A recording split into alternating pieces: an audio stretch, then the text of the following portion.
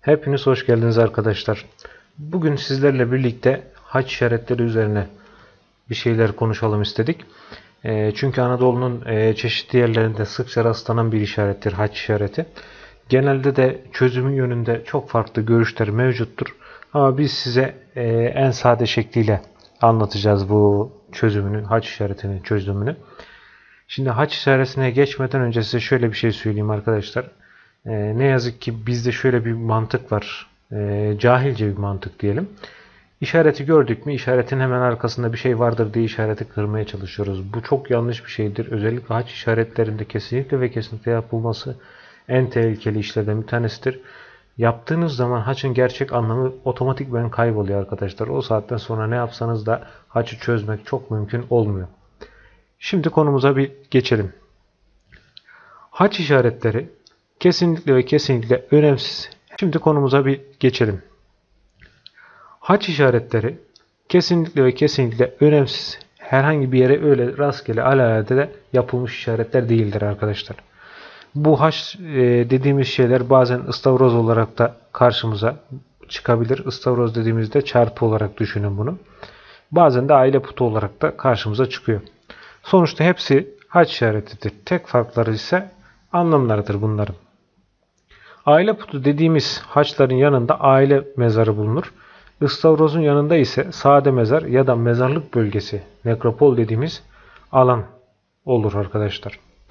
Kanatları içe ya da dışa bombeli haç işareti yine Anadolu'da sıkça karşılaşılan türlerdendir. Bunların yakın bölgede mezar olduğunu anlatır bu işaretler arkadaşlar. Yatay kolları alt alta 2 adet olan haç e, gördüğünüz zaman ise kubbe ya da papalık sembolü olarak kullanılan haçtır. 8 kollu haç ise günah çıkarıcı haç olup eşit kollara sahip haçlar ise hemen arkasındaki mezarı temsil eden haçlardır arkadaşlar. Kısa net olarak bu şekilde söyleyebiliriz. Şimdi haçlar e, konusunda hemen e, öncelik vereceğimiz bir husus var. Bu da tehlikeli haçlar arkadaşlar. Haçlar arasında en tehlikeli olanı ise daire içine alınmış haç işaretidir. Kesinlikle ve kesinlikle gördüğünüz zaman iyi bir araştırma yapmadan herhangi bir çalışma yapmayın arkadaşlar. Bunun da sebebi şu şekilde anlatalım size. Ee, bu haç diğerlerinden farklı olarak din adamlarının mez mezarlarını temsil ediyor arkadaşlar. Bulunduğu ciddi bir tılsımla özellikle gün batımından sonra çalışma yapılması ne tavsiye edilir? Ee, tavsiyeyi bırakın uzak durun yani gece o bölgeden uzak durun. Çalışmayı aklınızdan bile geçirmeyin. Burada şöyle bir not e, geçelim. Tüm haçlar tılsımlıdır arkadaşlar. Yani haç işareti dinsel bir sembolü arz ettiği için tılsımlıdır. En güçlü tılsımların da başında gelir arkadaşlar. Ee, yine tılsım konusuna girmişken burada kısa bir şey belirteyim. İkinci sıraya ise yılan işaretini koyacağız. Tılsım olarak.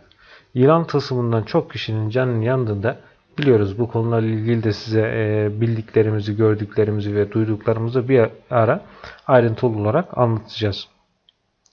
Eğer aynı kayada ya da aynı bölgede hem yılan hem haç varsa oradaki malınız malı almanız neredeyse imkansızdır arkadaşlar. Hani bazılarınıza uçuk gelebilir ama gerçek anlamda uçuk gelebilir ama gerçek anlamda e, yaşanan bazı hadiseler vardır. Bu hadiselerden kaynaklı olarak ben bunu size söylüyorum. Bir gün e, vaktimiz olur. İnşallah size bunları da anlatırız.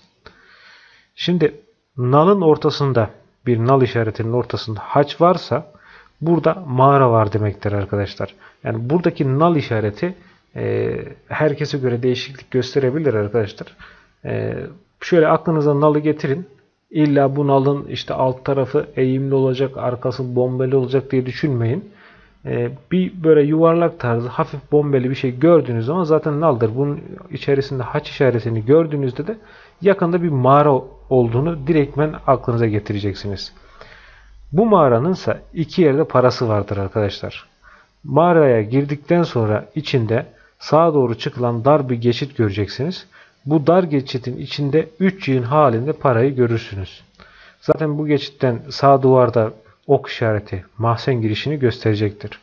Mahzenden düz olarak girmez e, giremezsiniz. Yani düz olarak ayakta giremezsiniz. yan gelip önce bir omzunu sokacaksınız, omuzunuzu sokacaksınız. Öyle geçeceksiniz bu mahzenden. Mahzen indikten sonra da iki tane oda göreceksiniz. Sağ odada kocaman bir yalak taşı göreceksiniz. Tıpkı çeşmelerin önünde olan bir e, şeyler var ya, yalaklar var ya. E, bu taş gibi. Bu taşın içinde ise som altından e, malzemeyi bulacaksınız arkadaşlar. Özellikle ve özellikle tekrar etmek istediğim husus şudur. Böyle nal içerisinde bir haç işareti görürseniz kesinlikle ve kesinlikle çalışmaya değerdir. Peşini bırakmayın arkadaşlar. Ancak çalışmayı gündüz vakti yapın. Kesinlikle gece vakti yapmayın. E, ikindi vakti de yapmayın arkadaşlar. Benim size tavsiyem ikindi vakti de bu tarz noktalarda çalışma yap çalışma yapmayın. Kayanın altından hat çıkarsa bu size e, define anlamında doğru bir yönde olduğunuzu gösterecektir. Şimdi kaya içerisinde, kayanın altında bir haç işareti ne anlama gelir? Yemin anlamıdır arkadaşlar. Burada kaya altında bulduğunuz haç işareti iki katlı bir mezarı temsil eder. Birinci mezarın altından birinci mezarı açtınız. Bu mezarın altından ikinci mezara giriş kapağı vardır. Kapağı kaldırdığınızda 7 basamaklı bir merdivenle aşağı ineceksiniz. Üçüncü basamak yine burada tuzak basamaklardandır. Burada dikkat etmeniz gerekiyor. Bu tuzak nasıl bir tuzaktır? Direkt kaval kemiğinizi etkileyecek bir tuzaktır arkadaşlar. Tuzağı bertaraf ederek yani o tuzağa düşmeden girerseniz orada bir e, oda dolusu diye tabir edeceğiz malzemeyle karşılaşacaksınız. Zaten bu tarz yerlerde böyle merdivenli bir yer gördüğünüz zaman bu merdivenlerde muhakkak surede bir tanesinde bir tuzak saklanmıştır. Bir tuzak yapılmıştır. Merdivenlerden aşağı inmeden önce ya bir şey salın. Ağır bir taş e, yuvarlayın merdivenlerden aşağı. Önceliğiniz bu olsun.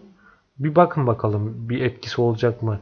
Tuzağa düşü, düşecek mi bu e, attığınız taş tuzağı tetikleyecek mi tetiklemeyecek mi? Bu çok önemlidir arkadaşlar. Daire içerisinde haç varsa bu günün saatiyle alakalıdır arkadaşlar. Günün hangi saatinde güneşe doğru gideceğini anlatır bu. En erken 10, en geç öğleden sonra 4 arasıdır. Bu yönde belirgin bir kaya vardır. Tıpkı lahit gibi görünecek bu kaya yalnız. Biz buna tepsi kaya diyoruz. Bu kayanın üzerinde kanepe gibi, bu kayanın yüzü de işte dediğimiz gibi kanepe gibi dümdüzdür. Yanlarında da murç izleri vardır. Burada devasa büyüklükte mezar olup 4 metre derinlikte bu mezarı bulacaksınız arkadaşlar. Yani şöyle haç işaretlerini Anadolu'daki haç işaretlerini bir topladığımız zaman en azından 10-15 çeşit haç işareti var arkadaşlar. Aile putuna benzeyen kalın kolları ve bacakları olan haçlar papaz mahzenini işaret eder. Bulunduğu yerdeki arktır. Yani biz ark olarak tabir ederiz. Su yolunu takip ederek direkt papazın mahzenine gideceksiniz arkadaşlar. Bu mahzende 4 tane oda bulacaksınız. Baş papazın mezar yardımcısının mezarı, kilise eşyaları, bir de boş oda olacak burada. Kilise eşyalarının arasında çan vardır. E, yalnız bu çana dikkat edeceksiniz arkadaşlar. Çana e, kesinlikle hani öyle alıp rastgele sallamaya falan kalkmayın. Bu çan çok değerlidir. E, gerçek anlamda da maliyet olarak, e, eder olarak da oradaki tüm malzemenin en değerlisi bu çandır. Şimdi eski evlerin dış cephesinde haç işareti varsa bunu çok dikkate almayın. Neden diye soracak olursanız şimdi haç işareti koruma maksatlı bir işaret arkadaşlar. Koruma maksatlı bir işaret arkadaşlar.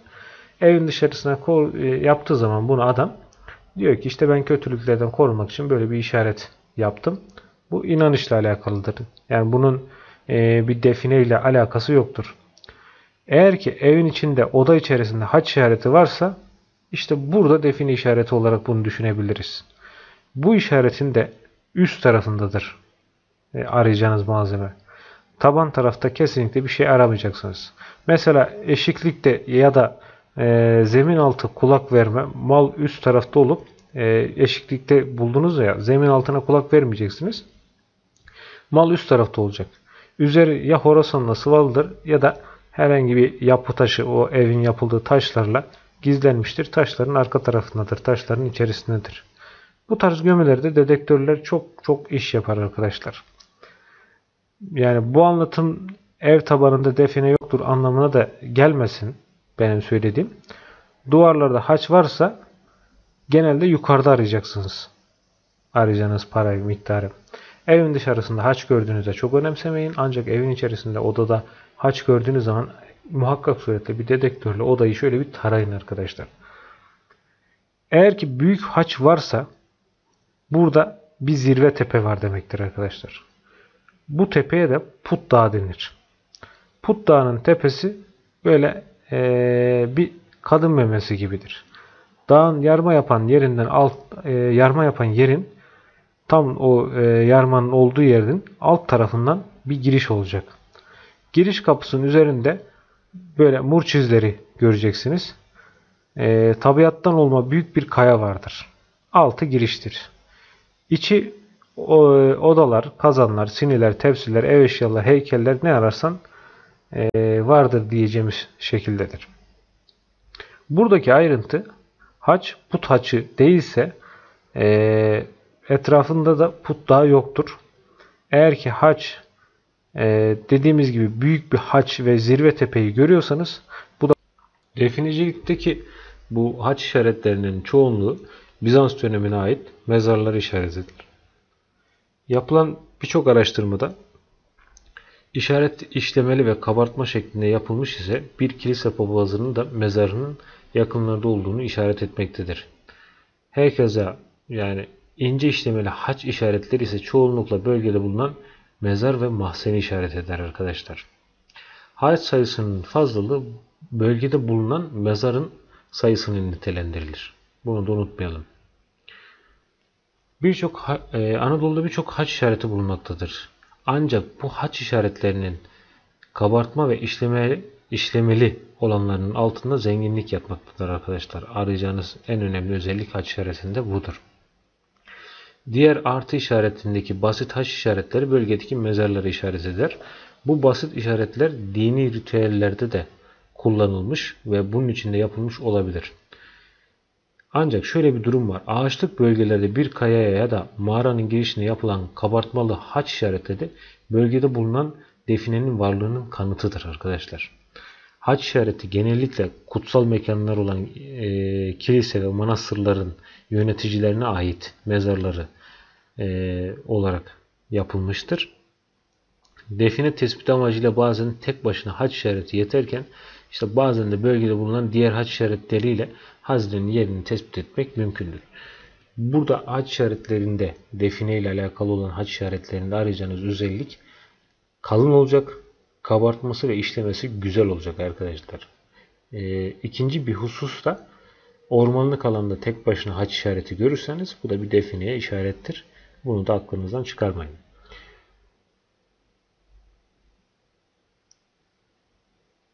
Şimdi define işaretinin çözümündeki haç işaretinin ya da artı simgesinin kolları e, büyük önem arz ediyor. Burada kollardan e, yön bulacağız çünkü arkadaşlar. Eğer ki kollardan bir tanesi uzunsa bu yönde bir araştırma yapacaksınız. Şimdi haç işaretini gördünüz. Uzun kolunu tespit ettiniz. Uzun kol istikametinde araştırma yapıyorsunuz. Burada ne arayacaksınız? Bu alanda yığma ya da mağara girişi arayacaksınız arkadaşlar. Kesinlikle ve kesinlikle yığma ya da mağara girişi arayacaksınız. Haç işareti eğer bir mağaranın girişine yapılmışsa burada kaya mezarı arayacaksınız. Bir mağara girişinde haç işareti gördüğünüzde kaya mezarı anlamına gelir arkadaşlar. Muhtemelen de bulunduğu ana kayanın kuzeyine doğru mağaranın gizlenen bir girişi bulunur bu tarz e, işaretlerde. Bu giriş doğal olmayan bir şekilde horosanla kapatılmıştır. Yani belli edecektir kendisini giriş. Ana kayanın kapatılmıştır. Yani belli edecektir kendisini giriş. Ana kayanın bir yapısı haline benzetilmiştir. Ancak işte zamanla yağan yağmurdur işte doğasal etkilerle dolayı da e, ana kayadan biraz daha farklı görünecektir. Mağara girişi sağlam bir şekilde yapılmış ve e, çatlak bulunmuyor, çatlak da yoksa ana kayanın etrafını inceleyeceksiniz. Burada e, elinizde çekiç muhakkak bulunsun. Çekiç veya balyoz tarzı bir şeyle bir e, vurarak ana kayaya mağaranın kuzey kısmını şöyle bir döveceksiniz. Boşluk sesi gelen kısımda muhtemelen kaya mezarı o noktadadır. Ya da işte elinizde varsa hilti ya da işte karotlardan herhangi biriyle bunu delerek de elde edebilirsiniz, öğrenebilirsiniz. Eğer haç işareti gizlenen bir alanda kayanın üzerinde kabartma şeklinde yapılmışsa bu defa kabartmanın içe mi yoksa dışa mı doğru baktığına bakacaksınız. Haç işaretinin kollarından bir tanesi kısa ise uzun kol ölçülecek. Ee, burada haç işaretinin baktığı alan irdelenecek arkadaşlar. O taraf incelenecek ve ölçümlerin her bir milimetreyi 1 metre uzunluk olarak göz önünde bulunduracaksınız. Yani şöyle söyleyeyim. Eğer aradaki uzunluk fark 10 santim gibi bir alanı kapsıyorsa 100 metrekarelik bir alan içerisinde mezar arayacaksınız. Haçın uzun olduğu kola bakılarak belirtilen alan içerisinde toprak yapısındaki farklı yığma ya da boşluk, çökme bu alanlarda kazı yapacaksınız. Yani bu kazıda da e, karşınıza çıkacak şey mahzendir arkadaşlar. Bu mahzenler de boş değil bunları belirtelim.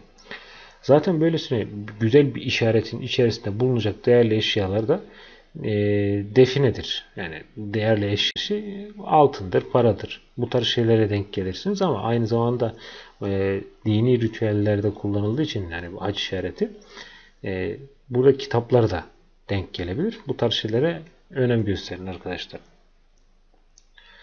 Bir hac işareti buldunuz. Bulduktan sonra ne yapmanız gerekiyor? Bunu sizlerle paylaşalım. Özellikle insanların bulunmadığı bir alanda hac e, içerisinde bir hac işaretiyle gizli şekilde yapılmış ve kimse tarafından keşfedilmediyse burası uygun ölçümleri yaparak az önce anlattığım gibi mahzen ya da oda mezarının girişini tespit edeceksiniz. E, akabinde de işte dedektörlerle ya da e, çubuk yardımıyla burada tespit yapacaksınız. Boşluk tespiti yapacaksınız. Boşluk tespiti yaptıktan sonra da e, gerekli yasal izinlerinizle birlikte de girebilirsiniz zaten. Şimdi haç işaretleriyle ilgili böylece e, kısa bir olsun bu. Detay olarak anlatmayalım da kısa olsun. İlerleyen zamanlarda e, göndereceğiniz fotoğraflar ya da videolar üzerinden size daha detaylı bir e, haç videosu çekmeyi düşünüyorum. Çünkü dediğim gibi 10-15 çeşit haç işareti var. Bu işaretlerin yöresel olarak da farklılık arz ediyor. E, eşkiye haç işaretleri var. Bunlar çok çok önemli. Bunları da bir ara size anlatan, anlatmak istiyorum. Bunların devamı gelecek arkadaşlar. E, bizi yalnız bırakmayın. E, soru, görüş ve görüşleriniz bizim için özellikle çok çok önem arz ediyor. Her şeyi biz biliyoruz diye bir şey yok. Sizden de alacağımız birçok şey olacaktır. E, dipnotlarınız varsa muhakkak surette bize bildirin arkadaşlar. Bu dipnotlar bizim için faydalıdır. E, bir yarar elde eder. Bizim için de bir yön gösterir. Belki bizim bu zamana kadar tecrübe edemediğimiz bir şeyi siz tecrübe etmişsinizdir. Sizin de tecrübelerinizden faydalanmak isteriz. Bu yüzden de yorumları boş bırakmayın. Bizlere yazın. E, saygı sevgi çerçevesi içerisinde elimizden geldiğince sizlere yardımcı olmaya çalışacağız. Sizlerden de aynı şeyi bekliyoruz.